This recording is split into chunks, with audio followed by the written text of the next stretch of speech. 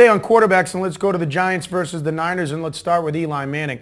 When you look at Eli Manning, I, I was shocked by this looking it up. It's been eight years now that he's been in the league. I was like, I, I thought it was like five or six. So clearly there's a body of work. He's a clutch player. He also is a guy, to me, though, that's feast or famine when it comes to fantasy. Is he the 25 interception guy from last year, or is he the guy that's made Mario Manningham, Hakeem Nicks, and Victor Cruz no-name elite receivers?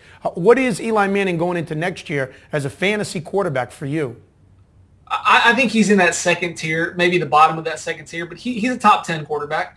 And, and, those interceptions were a little bit misleading. Yes, he had 25 that year, but a lot of them were deflections. A lot of them were, you know, off the receiver's hands into the defender's arms. And he still finished, despite that, in the top 10 for fantasy producers at the quarterback position. He's a little underrated, in my opinion, based on, you know, given his name, you would think he'd be higher higher up on the board for a lot of people.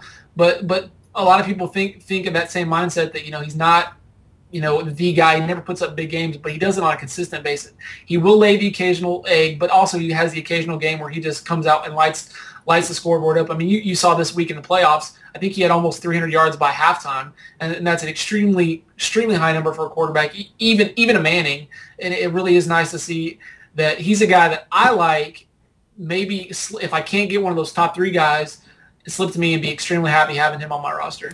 Victor Cruz is an elite receiver. He's a top five fantasy receiver this year who came out of nowhere. But again, the Giants have done that sort of since Eli Manning has been there. I mentioned those names. You can throw Plaxico Burress in there a couple of years ago. Uh, is Victor Cruz here to stay? Is he a top five receiver pick next year? I want to see one more good season out of him. Every year we seem to have this wide receiver come out of nowhere and, and finish in the top five. And so he goes extremely high on draft boards. Well, next. Uh, Jeff, that was Miles Austin, wasn't it, a couple of years ago? Yeah, I mean, Austin's battled some injuries, and I mean, again, and you've had you had guys like Brandon Lloyd last year who had a monster year and was considered by some to be a top five guy. Um, Mike Sims Walker a couple years back was huge. I got burned by Sims Walker because I thought he was going to be big.